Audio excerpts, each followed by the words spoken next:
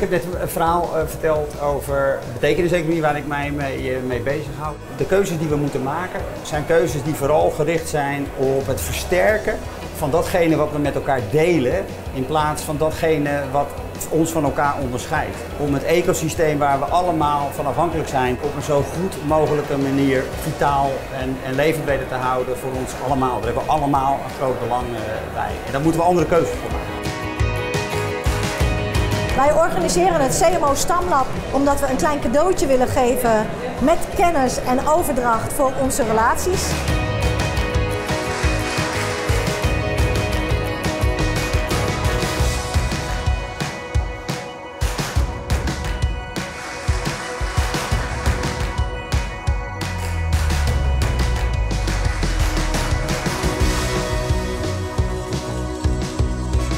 Het gaat om dat waarden en normen min of meer in balans moeten zijn met, met geld verdienen. Wees zorgzaam voor alles wat je nalaat, alles wat je doet.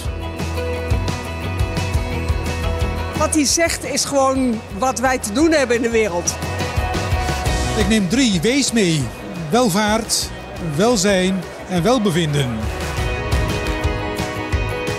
Hoeveel mensen blijven hangen zegt ook iets over de uitwisseling en de samenwerking die je uh, met elkaar hebt. En uh, tot nu toe ruist het nog door, bruist het nog door. Dus uh, zijn we daar heel erg blij mee.